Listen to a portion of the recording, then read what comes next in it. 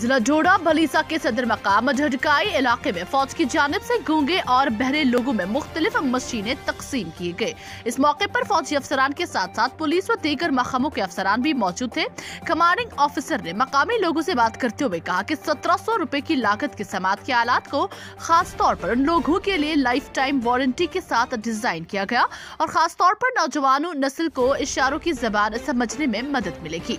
आपको बता दें कि इलाके में 105 खानदानों में तकरीबन 55 खानदान पुरस्कार तौर पर बीमारी में मुब्तला हैं। इस मौके पर बीडीसी चेयरपर्सन मोहम्मद हनीफ चौधरी ने लेफ्टिनेंट गवर्नर इंतजामिया से अपील करते हुए कहा कि इलाके में इन गूँगे बहरे लोगों के लिए एक अलग स्कूल कायम किया जाए ताकि इन गूँगे बहरे बच्चों का मुस्तकबिल भी रोशन हो सके।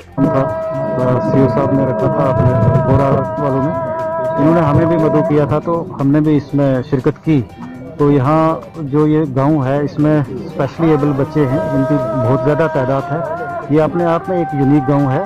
तो इसमें जितना भी यहाँ हमारे सरपंच साहब बीडीसी चेयरमैन और लोगों ने जो डिमांड रखी है, इसको हम पूरा कोशिश करेंगे पुलिस डिपार्टमेंट से जो भी हेल्प हो सकेगी। हमारे भी सिविक एक्शन प्रोग्राम्स होते हैं तो मैं प्रायोरिटी पे सिविक एक्शन प्रोग्राम जो हैं, वो यहीं पे रखूँगा। इसके वादी में